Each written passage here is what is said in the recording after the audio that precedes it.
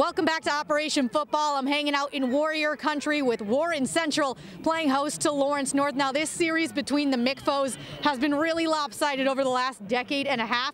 Warren has won 18 straight, a streak dating back to 2005. So some of the players on this field tonight weren't even born the last time LN walked away with a win.